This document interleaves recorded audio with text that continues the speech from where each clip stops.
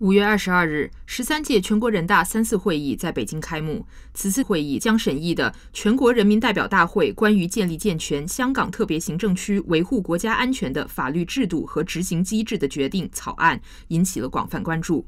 五月二十一日，全国政协副主席梁振英就这一话题接受了记者采访。二零一九年六月，香港发生了修例风波，对香港社会产生巨大影响。对此，梁振英表示，香港有一小部分人罔顾国家主权、安全和发展利益，这需要香港有和国家相关的法律进行制裁、禁止。世界上几乎每一个国家、每一个社会，包括美国本身，也包括亚洲一些国家，例如新新加坡，都有这方这方面的法律。他们的法律还是相当的呃严谨、严密的。梁振英强调，在香港落实好“一国两制”，必须要有维护国家安全的法律。没有这项法律，反而会影响各方利益。有了这样的法律呢，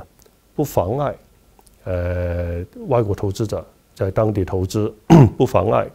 呃当地国民居民依法享有的呃自由。这个也是香港应该做的。我们现在呢有一个。国家国家安全方面的这个漏洞，这个呢会影响到“一国两制”的实施，会影响到香港社会的安定啊，因此呢，影响到投资者投资的呃这个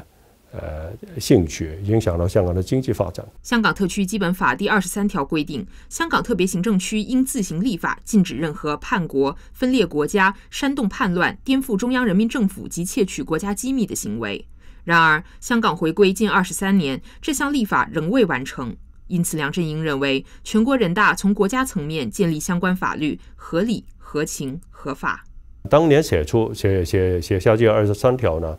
就由于呃，当时香港的一些法律、一些单行法都没能完全满足呃国家安全方面的需要。所以呢，就有这么一条。但过去二三年一直呃不能立法，呃看样子呢，短期内也不能完成啊这个呃立法的工作。呃，所以在这种情况底下，呃人大要堵塞这个漏洞，这个完全是呃合理、合情、合法的。呃，同时呢，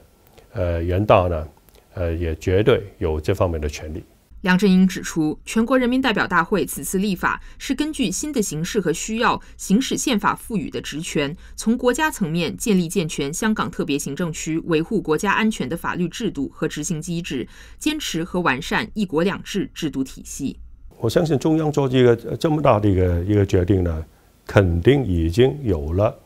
通盘的考虑，而且呢有非常充分的呃这个准备。所以呢，我在那呢，在这里呢，奉劝香港的反对派啊，不要啊呃低估啊中央呃处理香港问题的决心。